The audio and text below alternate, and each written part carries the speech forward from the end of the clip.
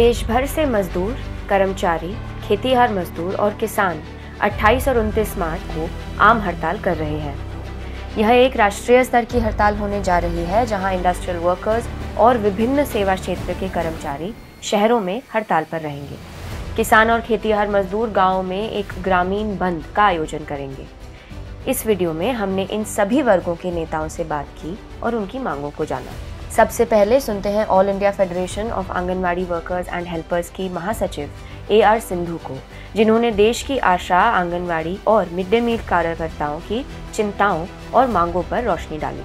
देश भर में Anganwadi, Asha mid day meal workers जो है, जो देश की जो बुनियादी सेवाएँ हैं, जो खाद्य सुरक्षा का और स्वास्थ्य सुरक्षा के लिए जो सरकार की स्कीमें हैं, उसको लागू करने वाले जो देश की जो 60 लाख वर्कर्स है और उसमें से 99 परसेंट जो महिलाएँ हैं तो वो उनके आंदोलन बहुत ज़्यादा चल रहा है। पिछले दो साल में जो कोरोना काल के अंदर में बुनियादी जो सेवाएँ हैं, एक खाद्य सुरक्षा का, जो बच्चों को, माओं को खाने का जो प्रोविज़न है सप्लीमेंट्री न्यूट्रिशन का, वो घर घर पहुँचाने का काम किया, क्योंकि स्कूल है, आंगनबाड़ी सारे बंद था, वो काम किया है। और जो स्वास्थ्य सुविधाएँ हैं और कोरोना का जो ड्यूटी है, कोरोना का जो पेशेंट्स को पहचानना, उनको हॉस्पिटल में ले जाना से लेके जो अभी तो ये वैक्सीनेशन तक का काम किया है, अपने जान को जोखिम में डाल के। ये प्रेशर वर्क का प्रेशर है और उसके साथ में जो सरकार की उल्टी सीधी जो भी नीतियाँ चल रहे हैं डिजिटाइजेशन का और आउटपुट आउटपुट देने का और रिपोर्टिंग देने का, ये काम का लोड बहुत ज़्यादा है। बारह बारह घंटे से सोलह घंटे तक तो है कोरोना काल में ड्यूटी किया है और बहुत सारे लोगों का मौत भी हुआ है इस कोरोना से। लेकिन उनका कोई बीमा नहीं है, कोई रिस्क अलेवेंस नहीं है। एक काम का लोड और उसकी जो महँगाई जो है पिछले सालों में जो सरकार की नीति से हुआ है, उससे बहुत ज़्यादा आंदोलनों में आने पे लोग मजबूर हो गया है। और जैसे हम देख सकते हैं, बहुत ही जो बहादुरी के साथ में ये लड़ाइयाँ चल रहे हैं। राज्य सरकारों को भी इनके मांगों पे कुछ ना कुछ देना के, को भी उनको मजबूर कर रहे हैं। लेकिन इसके साथ साथ में जो केंद्र सरकार है, ये बुनियादी, ये योजनाओं को ही ख़त्म करने का, जो उनको निजीकरण करने के लिए, ये सेवाओं के जो बजट है, उसमें बार बार कटौती कर रहा है। और खाद्य सुरक्षा पे भी उन ये, उनके लिए जो योजनाएँ हैं एफसीआई का भी जो पैसा है, उसको भी कटौती कर रहे हैं। आईसीडीएस में मिड डे मील में और ये एनएचएम में, उनका भी बजट में कटौती पिछले सालों में हुआ है। तो इसके खिलाफ में इसके खिलाफ में और केंद्र से अपने जो बुनियादी जो अधिकार है, जो वर्कर का दर्जा और न्यूनतम वेतन और सामाजिक सुरक्षा लाभ, ये पैंतालीसवां श्रम सम्मेलन ने ऑलरेडी इसका सिफारिश है वो लेकिन सरकार लागू नहीं कर रहे। तो ये मांगों को लेके बहुत बड़ा आंदोलन छेड़ रहा है।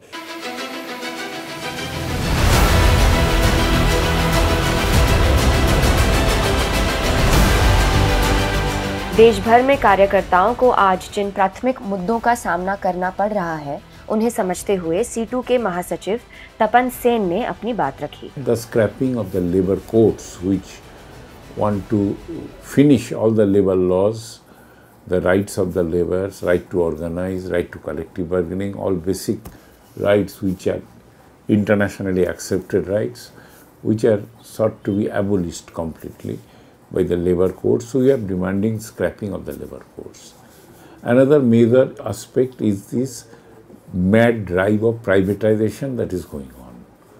The whole public sector units network in the country practically holds the foundation of the Indian economy and upon which the private other private sector industries are also flourishing.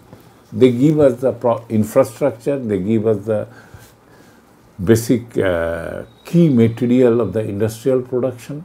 These are all given by the public sector.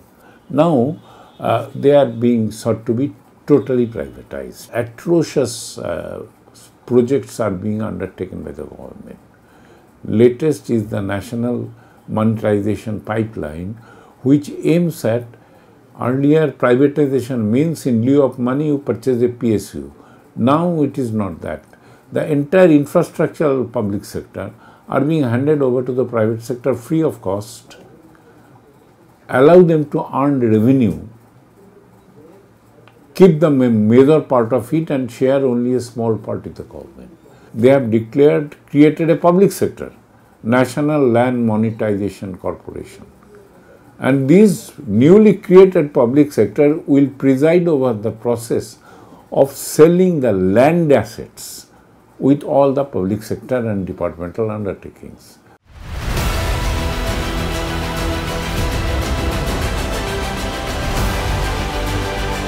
All India agricultural workers union के संयुक्त सचिव विक्रम सिंह ने देश में खेत मजदूरों की दुर्दशा और इस हड़ताल में जाने वाली प्रमुख मांगे सामने रखी जो आप देखेंगे मांग पत्र है संयुक्त ट्रेड यूनियन का उसमें खेत मजदूरों की बड़ी महत्वपूर्ण मांग कि खेत मजदूरों के लिए एक केंद्रीय कानून होना चाहिए। बहुत विडंबना है कि आज़ादी के 75 साल बाद भी कोई ऐसा कानून नहीं है जो सुनिश्चित करे कि खेत मजदूरों के जीवन के लिए क्या नीतियाँ होंगी। कितना उनकी न्यूनतम मजदूरी होगी, क्या उनके लिए लाभकारी योजनाएँ राज्यों को बाध्यता के तौर पर लागू करनी पड़ेगी? तो ये मुख्य डिमांड जब उसमें शामिल है तो हम लोगों ने तय किया है कि हम इस हड़ताल को बड़े स्तर पे सफल बनाने के अंदर मदद करेंगे।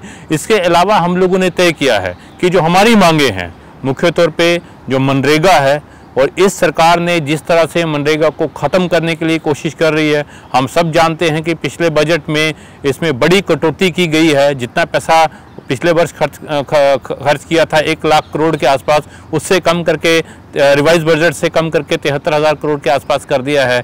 20 परसेंट की देनदारियाँ हैं। उससे ये पता चल रहा है कि हर साल अक्टूबर, नवंबर के आसपास सरकार के पास पैसा खर्च हो जाता है और अगले जो चार पाँच महीने हैं मजदूरों को काम के लिए भटकना पड़ता है। सरकारी आंकड़ों के अनुसार इतनी सरप्लस ज़मीन है कि जो खेत मजदूरों के लिए बंट सकती है। पर सरकार ने ये मान लिया है कि भूमि सुधार गए दिन की बात हो गई है और अब सरकार के बहुत सारे पॉलिसी मेकर तो ये एडवोकेसी कर रहे हैं कि ग्रामीण भारत में भी आपका जो कॉरपोरेट है, वो ज़मीन को नियंत्रित करेगा। जिस जिस तरह से पंजाब में, कर्नाटका में ये बता दिया है कि आपकी जो पंचायतें हैं, वो सीधे तौर पर आपके जो कॉरपोरेट कंपनियों को अपनी ज़मीन लीज़ के ऊपर दे सकती हैं। राज्य सरकार का भी उसमें कोई हस्तक्षेप नहीं होगा। और आखिर में ऑल इंडिया किसान सभा के जॉइंट सेक्रेटरी विजू कृष्णन ने हाल ही में केंद्र सरकार को सौंपे गए छह सूत्रीय चार्टर के आधार पर किसानों की मांगों को सामने रखा। जो ऐतिहासिक किसान आंदोलन में हम लोग मांगे रखे थे उसमें तीन किसान विरोधी कानून तो वापस हुए हैं पर किसानों पर जो आ, मुकदमे आ, दर्ज हुआ है उसको वापस नहीं हुआ है। वो वापस होना चाहिए। किसानों का जो आ, फ़सल है उसके लिए उत्पादन खर्च से डेढ़ गुना दाम देने का बात था। उस पर अभी तक कोई कार्रवाई नहीं हुआ है। उसके साथ साथ जो कोविड लॉकडाउन काल में किसानों का आमदनी बहुत बड़ा नुकसान हुआ है खो बैठे हैं, उनको कम से कम हर महीना साढ़े सात हज़ार रुपया एक सहायता देना चाहिए। ये मांग है। किसान का कर्ज़ा माफ़ी होना चाहिए। ये सभी मुद्दों को लेके उसके साथ साथ खेत मजदूर के लिए जो उनका खास करके नरेगा में जो जिस तरीके से बहुत कम रोज़गार के अवसर उसमें दिया जा रहा है, हम लोग का मांग है कम से कम 200 दिन का रोज़गार और अधिक मजदूरी उसमें देना चाहिए।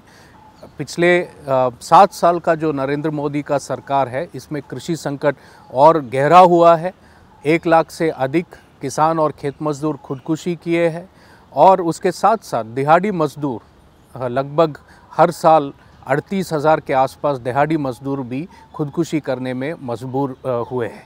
इन सभी तबकों के मांगों को ले, लेते हुए हम लोग इस हड़ताल में जा रहे कि मजदूर वर्ग, ऐतिहासिक किसान आंदोलन के दौर में हमारे साथ कंधे से कंधा मिला के उस आंदोलन में भाग लिए थे। मज़दूर वर्ग जब उनके हकों के लिए लड़ रहे हैं, उसको भी हमारा समर्थन, उसके साथ एकजुटता बताते हुए इस आंदोलन में हम लोग भी शामिल हैं।